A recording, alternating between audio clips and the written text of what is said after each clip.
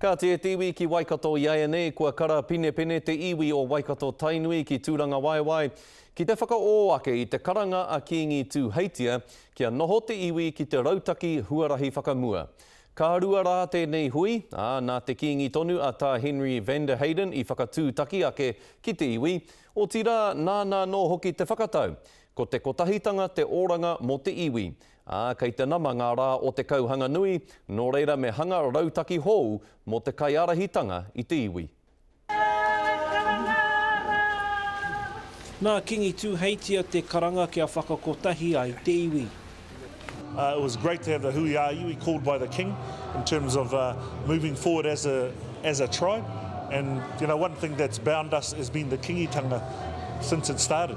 Mā ngā toki o te rū o Waikato hei kōkiri i ngā take. Ā, kei ō mātou ringaringa te, te, te mana, te kaha, ā, kia pihi, kia puawai mātou i te, i te iwi o Waikato-Tainui.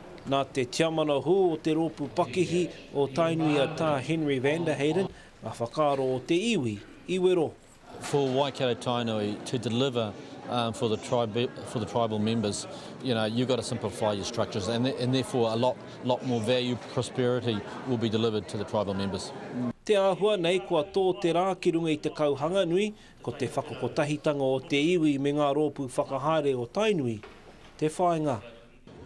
Kia whakakorehia ngā rōpū e rua nei, te kauhanga nui, te Ara Taura, kia kotahi, kia māmā, kia mutu ngā tautohetohe, te hari i tēnā, i tēnā ki te Kōti, ērā āhuatanga katoa kia kotahi anahe te rōpū, te poari, kia anga whakamua te iwi nei.